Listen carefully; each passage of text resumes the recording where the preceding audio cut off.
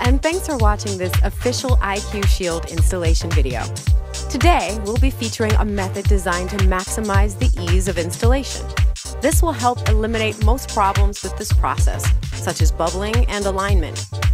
Using our installation spray, you will find that installing IQ Shield is quick and easy. Let's get started. Each IQ Shield package includes everything you will need installation spray, lint-free cloth, squeegee, and of course, your new IQ Shield protector, designed specifically for your device. First, let's prepare a flat, clean work environment. Dust, lint, or hair can get under your screen protector if it's installed in a messy workspace. Remember to wash your hands after cleaning your workspace. This will further reduce the chance of imperfections on your screen protector.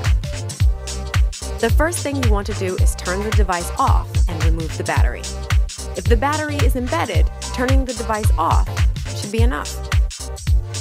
Next, spray some solution on the lint-free cloth and clean the device. The solution included is not an adhesive. It is water mixed with a small amount of cleaning solution and will not leave any residue once dry. Now that we have completed the setup, it's time to install your screen protector. Before handling your screen protector, spray your fingers with the solution. It's important to keep your fingertips wet during installation, as it helps keep fingerprints from getting under your IQ Shield.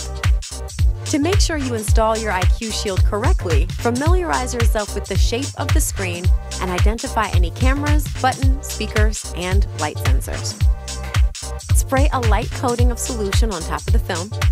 This will keep the film from stretching during the squeegee process later on.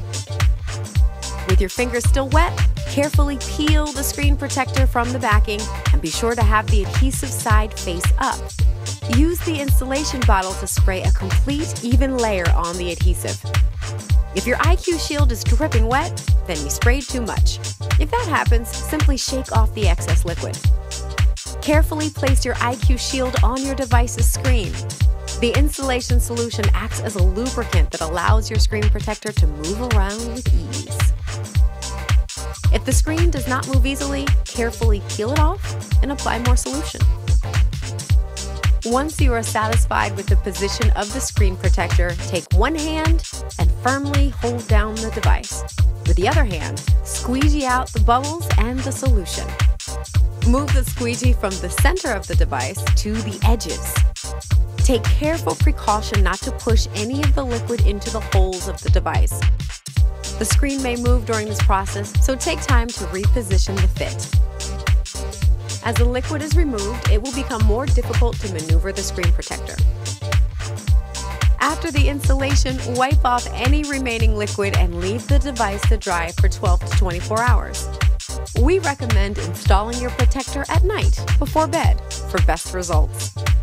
You may have some cloudiness, bubbles, or a rainbow residue left over, but do not worry. This will disappear as the screen cures within the next day or two. Thank you for watching this installation video. We hope that this video has been helpful to you. If you have any issues with your installation, feel free to contact our customer service department for help.